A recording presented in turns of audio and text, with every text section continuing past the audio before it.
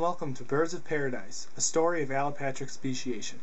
I'm Charles and I'll be traveling with you today as we explore how allopatric speciation can change the course of evolution. First, it's important to define allopatric speciation, which is a speciation event which takes place when populations are completely physically separated by a geographic barrier.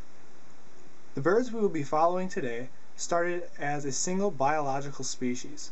A biological species can be defined as a group of natural interbreeding individuals which are reproductively isolated from other such groups.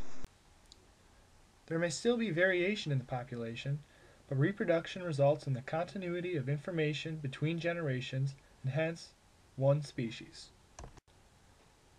Let's see what happens when a big storm takes place and disperses a member of the species to another island.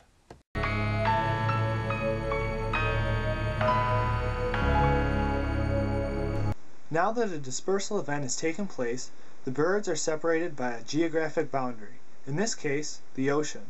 They are unable to reach each other and are completely physically separated from one another, effectively causing them to be reproductively isolated. Reproductive isolation is a critical step in the process of speciation because it allows for local adaptation and drift to cause divergence in the two populations.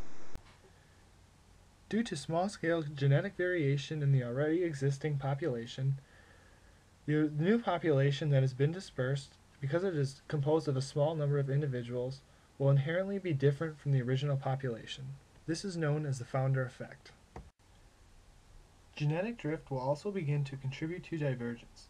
Genetic drift is a process in which chance events cause unpredictable fluctuations or changes in the allele frequencies from one generation to the next.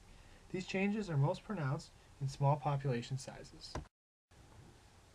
Different selective pressures in the different environments the populations encounter will lead to local adaptation through the processes of natural selection. For example, one population may feed on flowers. In response, the selective pressure will cause their beaks to become long and extended to be better able to eat the flowers.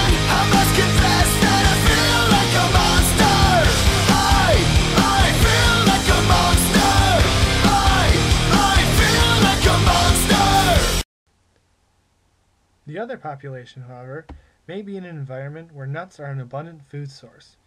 In response to this selective pressure, the beak of this population may become shorter, stouter, and stronger and able to better be able to feed on the nuts.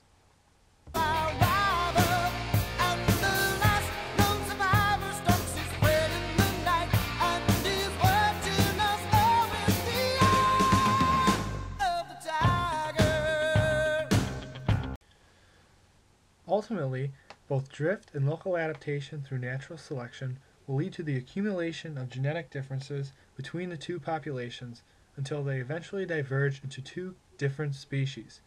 At this point, even if they were reintroduced to each other through the removal of the geographic barrier or another dispersal event, they would not be able to reproduce.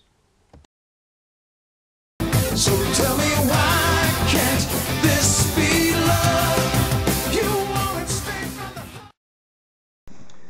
In summary, allopatric speciation was able to take place by two populations becoming geographically separated by a physical boundary.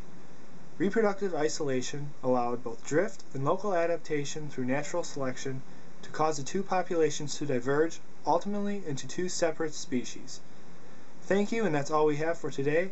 We'll hope you always remember this story of allopatric speciation, the birds of paradise.